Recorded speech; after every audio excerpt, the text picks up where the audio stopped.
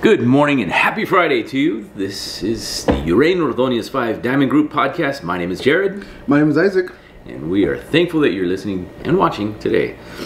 Hope you are feeling good and hope that the smoke is not killing you. Although here in Vegas, we don't have it that bad. Uh, only for a couple days. Only for a couple days. Like this morning, I took a snapshot driving in of the sun.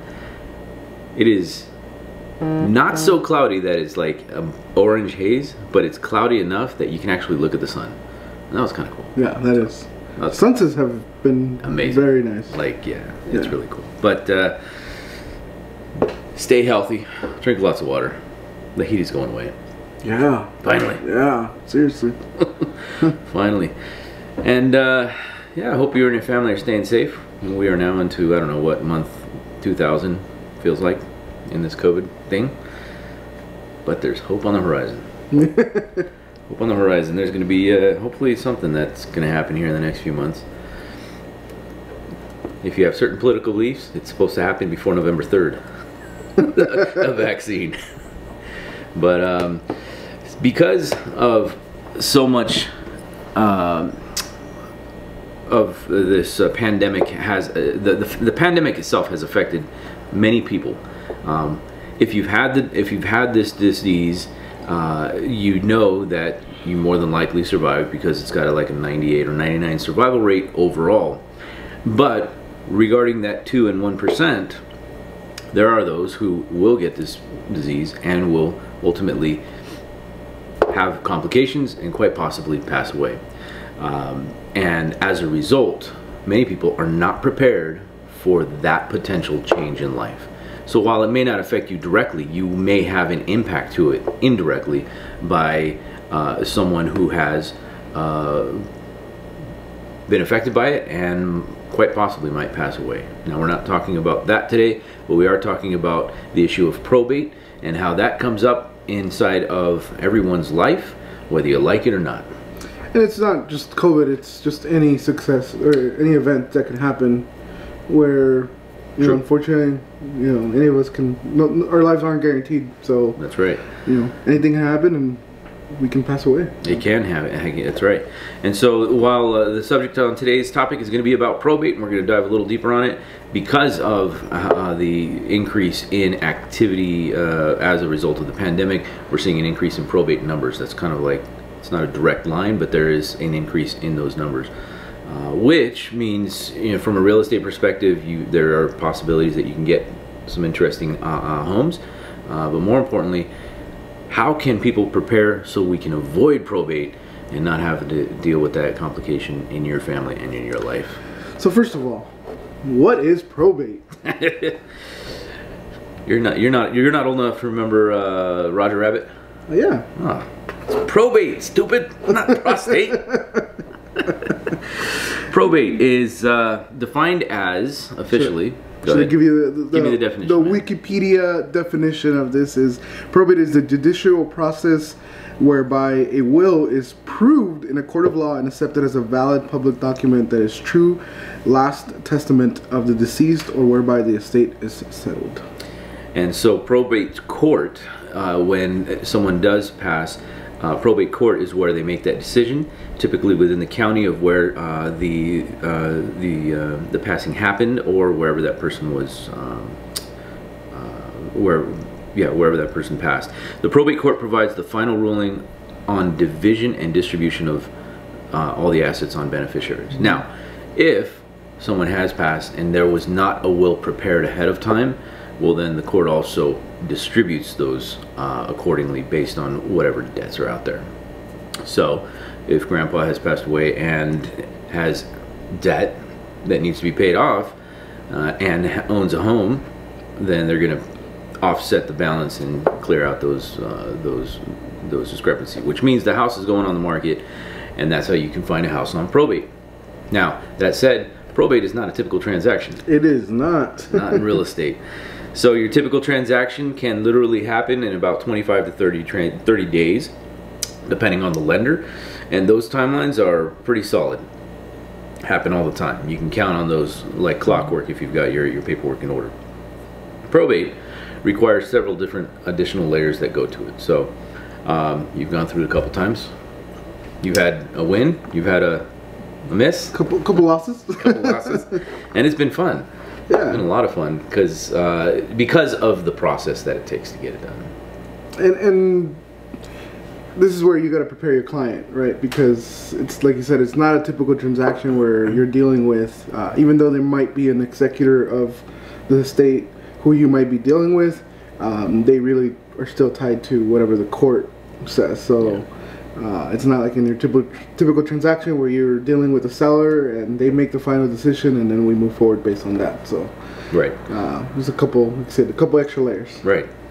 So uh, we're going to ask more about your experience and, and our experience, really that that uh, that we've gone through on this. But uh, w- just to outline those steps for most folks uh, to understand this, if you are for purchasing a home and you're looking for, uh, you know, what would be the the right word people are looking for? A good deal. a good deal, you have the you have a greater possibility of getting that in a probate sale now, and that's mainly because most of the homes that will probably go on the market like that uh, aren't you know updated, aren't ready to go. Maybe need improvements, and the fact that there's no one there to authorize you know repairs and so forth. Um, they will take care of some of that, but they're not going to be doing a whole rehab for somebody that goes in there. So that just means you can get in there and buy a house uh, for probably equal to or lower than your market value, especially in a current market like where there's huge seller uh, bias Correct. on the market, right? And at the end of the day, uh, keep in mind throughout this conversation uh, that they're going to really want to maximize their, their profit. So uh, even though it might be listed significantly under market value, uh, that is probably just to drive up uh, or create a bidding war to drive up the price uh, to get closest to what market value is. And so you gotta kind of be, be be prepared for that, especially in today's market where there's not a lot of inventory. Uh, some buyers are prepared to pay, you know, market value or even a little bit more. Right. So that's going to be uh, as a buyer, you're going to want to understand what each of those stages are, uh, because uh, while some most of the time the process can go pretty clean, uh, keep in mind you're now at the mercy of the court and everyone else's approval stages, and that can take extra long. Just depends on what it is. So let's start with the process of the transaction, what that looks like. Um, if if uh, let's say Uncle Joe passes away and didn't leave a will, uh, what happens at that point? Well, the notice is given to uh, the, the county records, and of course, uh, the his estate or his assets uh, are then notified by the court, and they turn around and start collecting as much information as possible. They, at that point, the court has to identify an administrator or someone who will take care of the interaction and make sure the collection of all the paperwork, make sure the court has everything that they have information wise. In order to get to that point of identifying that, you have to schedule a court date. and You have to get make sure all the paperwork is in order, and you've got uh, probably an attorney that's involved with making sure that's that's all prepared for that. Uh, so you're easily looking from the moment someone passes to about actually getting to a court date months, several months to be able to get to that point.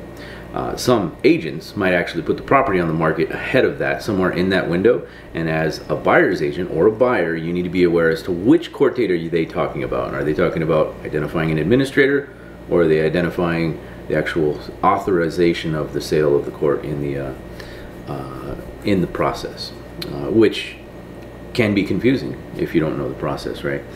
Um, and so, one of the prerequisites for buyers, patience. if you're buying probate, patience, because um, it can be a, a drawn out process. But if you've got the cash or you're willing to be patient on that, um, it, it, it could turn out to be a pretty good opportunity for you on it. So uh, once they have the administrator and the uh, that has been defined, the court then goes through and review. Actually, the attorneys have to prepare all the paperwork for the court to be able to review it and authorize the sale. Once all the boxes are checked and the property is um, up for the market value, then they will accept the contract. And now you've got to wait for an actual court date, and that's the fun part. How many times have you gone?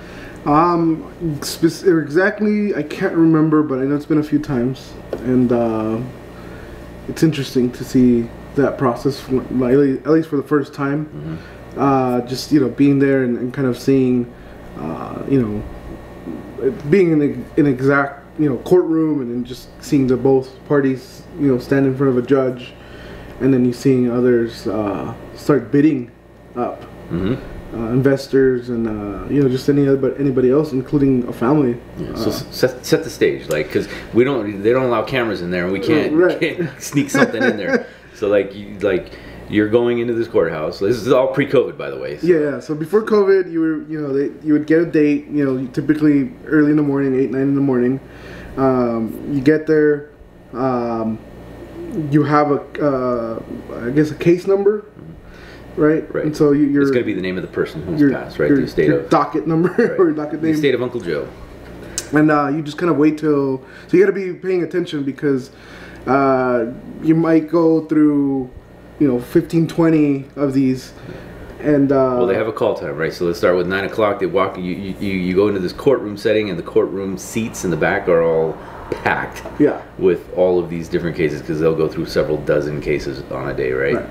And you, as the buyer's agent with your with your client, you're sitting there and you're just trying to listen for the name. The name. And then the thing is that they don't tell you where you are in the Right. list. They just you kind of kind of gotta wait. Yeah. So you got to be paying attention, and uh, you know, finally when they say the estate of, of Joe, then you're like, okay, well now you get up, Right. go on in front of the judge, and you say, you know, we're here to uh, purchase this property at you know X amount, Right. and then uh, if there is no objections, then you're purchasing the home.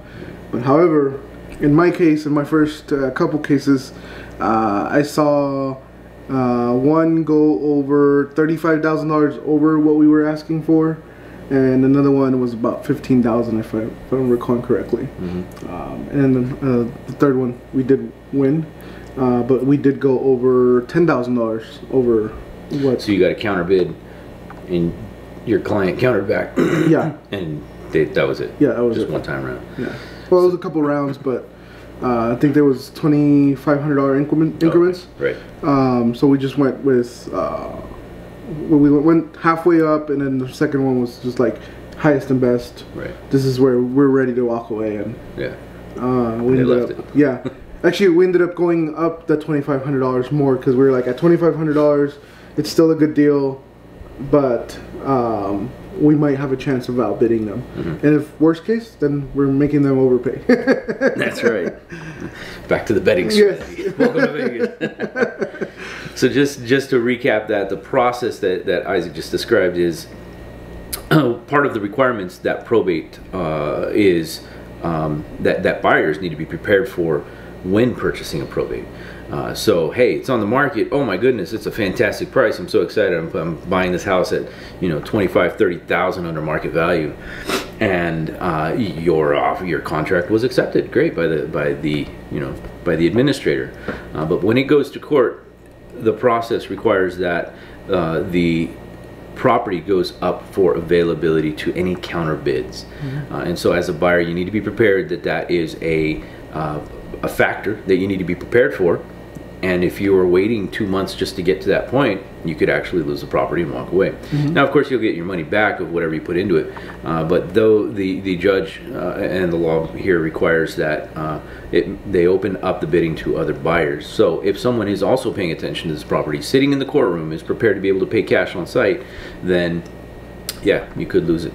And so uh, th- they will require each um, counter bid to be incrementally higher. Sometimes it's 2,500, other times it's 5,000, sometimes it's 10,000, depending on the kind of property. Judge makes the call, and the judge basically sits there and just listens. yeah, And so, give you an example. There was one that was, um, uh, it was somewhere in like in the four or five hundred thousand price range. It ended up going for like seven hundred and fifty, and they were doing ten thousand dollar increments. And it was a lengthy process because it started so low, and there was like, literally the the the, the original buyer, the ones that got the contract accepted, you know, went up stage, and then all of a sudden there's like. 25 people that just go on the other side on the on the on the, the plaintiff side, right? you know, uh, and so then there you have like a party of like maybe 10 different individuals just bidding up, you know, you know, 450, 460, 470, 500, 510, you know, and and that was probably one of the first um, ideas that I got, I was just like, man, is that gonna happen with us? Uh, and you're representing a buyer for the first time on a probate as well. You know, both probate. He's never done probate. I've never done probate, uh, and it's just kind of one of those uh, intimidating moments of like, is that what we're gonna go up against? Um, you know, fortunately, it wasn't as bad as that. Uh, but like you said, yeah, it was a good deal. I think we were at like one hundred and twenty-five thousand dollar um, purchase price that we had gotten the contract accepted, uh, and then I think it ended up going for like 160, 165, somewhere, somewhere in that range. So A couple years ago. yeah, a couple years ago. So for my client, it was more than he wanted to spend on this particular house due to the repairs that were needed on this house. Uh, but there are investors that uh, not only have the money but have the resources to be able to spread out the, you know their, their their profit margin or minimize their profit margin because they do so many homes Right. a year. About volume for them. Yeah. Yeah. So, th- so that said, that that's the uh, the court process uh, when it comes to uh, the actual sale. Now, uh, if you were able to get um, up to the point of getting court approval, and the court has uh, authorized your sale, well, at that point, you carry on, and the transaction actually starts at that point for the buyer, because then the buyer can then go through and um, you know process the loan, make sure that the inspection is all done.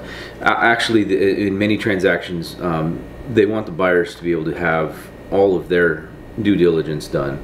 Uh, sometimes it's the inspection, sometimes it's the loan contingency. Um, some buyers will actually do that before they even get to court to understand whether or not they even want to pursue the property.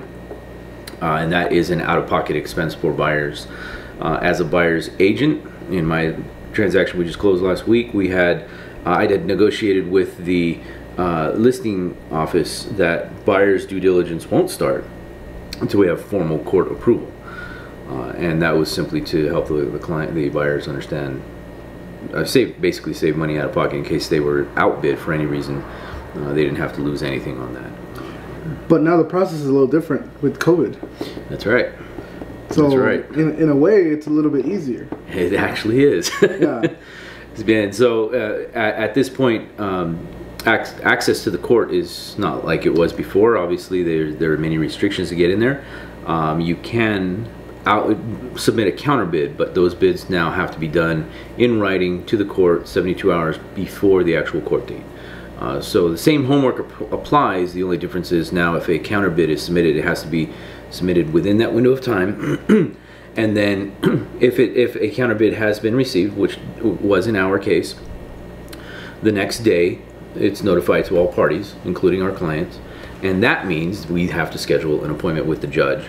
Uh, and they will provide access to the uh, Zoom meeting or whatever tools they use so that we can have that same experience, but now virtually online, and uh, provide links to whoever else is going to be counterbidding, which you know just puts it in a virtual environment, makes it a lot easier for us to be able to not have to be prepared, drive downtown, be all dressed up, sit there and wait for an hour and a half, just be able to get called and then have an answer in two minutes. So uh, it, it certainly makes it easier on that front. Yeah, absolutely.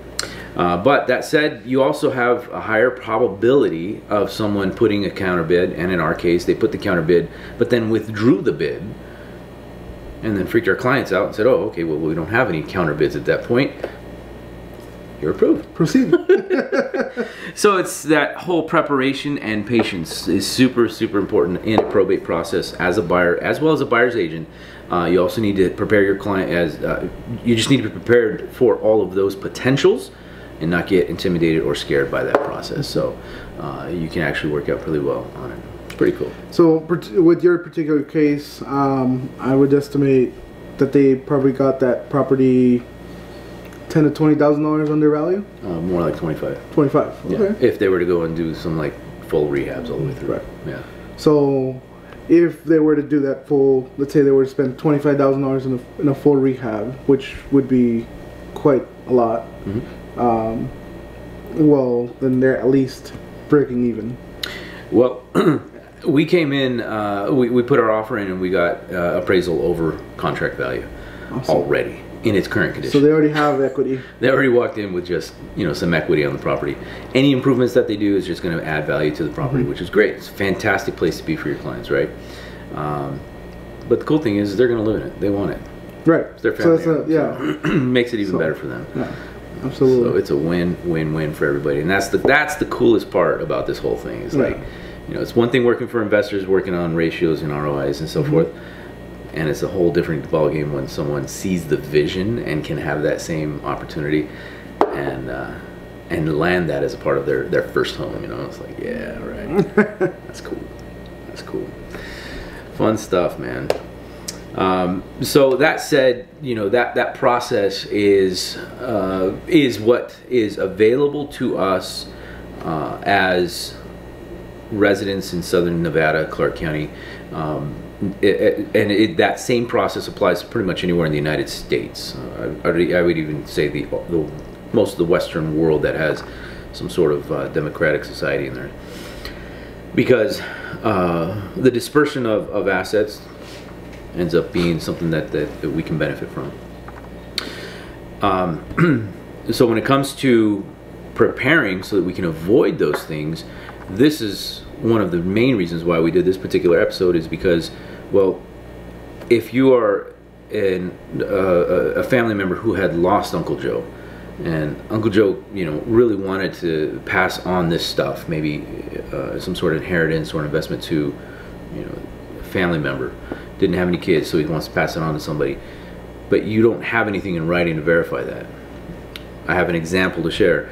Uh, I have a past client we've done several transactions with, uh, 13 children, all of them born here in the States, and their parents got COVID, one in February and one in March. Each one passed away the following month. Neither of them had any any any sort of description in the will, and so what happens now? You know, one person's living in the, one of the children are living in the house and they're arguing to fight it it's theirs, and the others are like, well, why don't we just you know sell everything and split the money evenly? And they're like fighting over this. Now you create conflict, and there's challenges and problems within the family side. How can we avoid those things? Preparing for end of life issues would be one of the smartest ways to do that. Um, setting up a trust or setting up wills uh, is not a big, hard thing to do. It's just a matter of having that conversation and thinking ahead and getting that done. And so uh, we strongly encourage anybody who might have family members who are of uh, high risk capacity um, because of the way the pandemic is going, there's a higher probability. It's not a comfortable conversation, but how much more uncomfortable would it be if something did happen and you have to now dispute and create, you know, have that have that challenge within your family members? You can avoid all that by simply preparing ahead with with your with your family members. Help them appreciate that. Uh, having a will doesn't mean you're going to die. It just means you know now, now know what to expect when something does happen, and you can now impose your will after you've passed. And one thing um, that has always been suggested to me, um, and I've actually been assigned an executor of, of a trust uh, outside of family. So it's picking somebody that is not family. Right. That can be unbiased.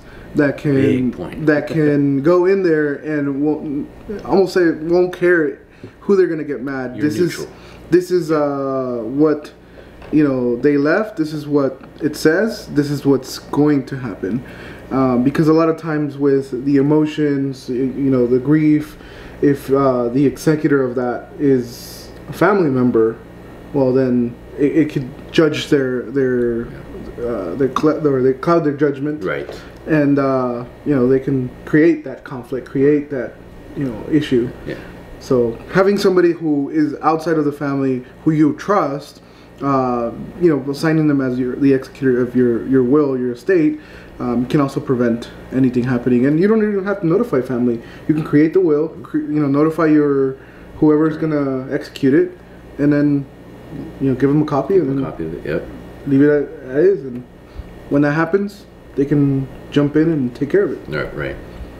And so those preparations ahead of time can help make sure that your family legacy, your um, relationship with your family is is your legacy is, is passed on uh, for for your children, for your family, or whoever whoever it is that you choose. So excellent, excellent point.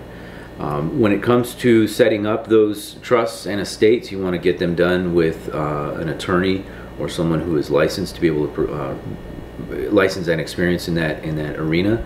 Um, it is possible that you can download that paperwork and do it yourself if you go to a notary, uh, but it's because of the legal requirements of each of those uh, documents. You want to make sure that they're done right, you know. So it's it's worth the money to be able to get it out there. Especially if you have a lot of assets, if you have rental properties, if you have anything of high value or uh, family heirlooms that you want to make sure that they're passed on to the right uh, person.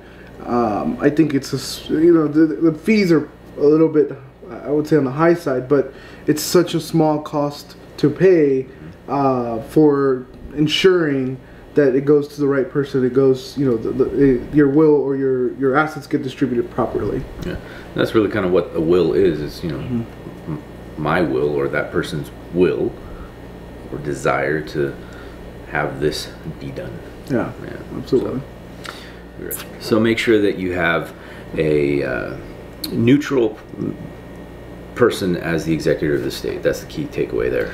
Yeah, I think so. And um, you know, just look at uh, what you own. Look at what what's valuable. I mean, uh, put it in writing. Yeah. You know, definitely just put something together. Something is better than nothing because at least it could be uh, taken to court and then figured out there if, if you're not willing to do a will. Right. But at least there's something, some type of right. And oh, and then one other thing that I want to touch on, uh, working at a bank, uh, it was so tough to see families, you know, distraught, uh, you know, grieving, and then coming and saying, you know, my dad, my grandpa, my uncle has an account here. Um, you know, can we get his money, or how do we, you know, um, get this? and it's just so hard because we're our bank employees we have you know the bank secrecy act which we are not allowed to disclose who's our client who isn't so we could look up and we could pull up you know uncle joe on there and if there's nobody as a beneficiary or anybody as an added uh, co-signer on the account i can uh, you know deny or uh, You can't give 'em any give it sort of any information. information, So right. you know, does he have an account here? I can't tell you that. Right. You know, and and I understand they're they're grieving, they're they're you know emotional, and they get mad and they get frustrated. But you know, I'm like, I, I got to do my job, and I can't do anything. And this is these are the steps. So um, simple things like that. At least where if you have a savings, go put beneficiary on there. And there's ways to, to set it up where you could do 50-50 or you could say, you know, uh, if I pass away, you know, it goes to my spouse. If my spouse passes away, it goes to the following person, and, and so forth. Um, so that way, you can ensure at least you know your your liquid assets to be dispersed immediately. Because as soon as they bring in the death certificate, uh, we can release that money. Right. But at least with uh, that knowledge and you being a beneficiary, yes, we can uh, give out some information. Right. So that's an excellent point because uh, while having the will or a trust on, on one hand can tell, uh, instruct the court or whoever where things are going, unless it's been authorized, on the other side, you can't do anything with it, right? Correct. And so identifying who those are on bank accounts, on uh, insurance policies, on any sort of 401ks, investments, Right. anything where s there's some liquidity, um, you're gonna get the money a lot quicker because death certificates usually issued uh, a lot quicker than than going through a court process. So if you can get that out of the way super quick. Um, at least you have maybe some uh, funeral expenses to take care of, Right. and if there's savings in there, and maybe that's what that was left for, but then you have no access to it, now you're gonna you know your guys are gonna have to come out of pocket or worse you know maybe you know take out a loan or create a GoFund account to uh, take care of those those, Those payments those costs in the meantime while you get that situated. So just simple things like that are a huge plus. Huge plus and just pre- being prepared. Uh, so that said full disclosure uh, we are not experts in this arena. We have no we are not offering legal advice. This is our opinion. We are uh, sharing our experience and want to help you as far as being prepared for the potential of. And if it doesn't, great, we, we carry on. Uh, but when it comes to wills, when it comes to uh, trusts for that matter, they have varying prices based on who you go to go with on an attorney. Not any attorney. While any attorney is licensed to do it, you want to go with an industry expert, right? Uh, somebody can sell their house as a FSBO, but you want a realtor to be able to help you get the highest and cleanest transaction possible, right? So go to uh, an attorney who specializes in estate planning and uh, talk to them specifically. We do have references available if you need more information on those. Uh, but uh, at the end of the day, having a trust is is great if you have lots of assets and maybe even layers of uh, of, of uh, items that need to be uh, protected and or carried on within a trust. A will is great if you've got just simple items on the list and they need to be distributed accordingly. Either way, proper life planning is, is always good measure. Yeah, and um, yeah, like Jared said, it's not legal advice, but it is our past experience, experiences that we've had, experiences that we've had not just personally, but with other family and friends. Uh, and you know, we do have, uh, we do know attorneys here in town that do specialize in that. Uh, so please, you know, if you don't know anybody or you want somebody who is trustworthy, uh, please reach out to us and we'd be more than happy to help. And at the end of the day, it's not about um, worrying about or getting you to worry and think about the day that you die. It's to prepare yourself and your family for that day, so uh, the stress and the pain is Minimized. as minimal as right. possible. Because it's going to be a hard day for everyone when that day comes, and it's just it can become worse when there's conflict, when there's uh, confusion, or where there's no when they don't they don't know where all your assets are, or you had any other assets, especially if you have stuff spread out in multiple accounts in yeah. multiple states. Yeah. All right, bud. Anything else? That's it. All right. That's all I got. Well, that does it for this episode of the Uraine Ordonez 5 Diamond Group podcast. We want to thank you so much for tuning in. I hope you enjoyed this episode. If you did, ding the like button and feel free to subscribe to this channel or any of our social outlets that you can catch us on. Um, That's it. I mean, we appreciate we appreciate you guys watching and, and listening every week. And uh, See, again, that's what it would feel like if someone had didn't have a will. It was just like a silence of awkward silence. you just don't know. But uh, please let us know if uh, you guys are enjoying this. If you're not, uh, as well, just you know, drop a topic in the comments and yeah. see what, uh, what the subject is. We'll jump on that and see what explore that uh, conversation. And if you guys ever want to be part of this uh, podcast show, please reach out to us as well. We'd love to have you guys as a guest. Uh, with that said, this that is Isaac. I'm Jared. Have a good one. Have a good one.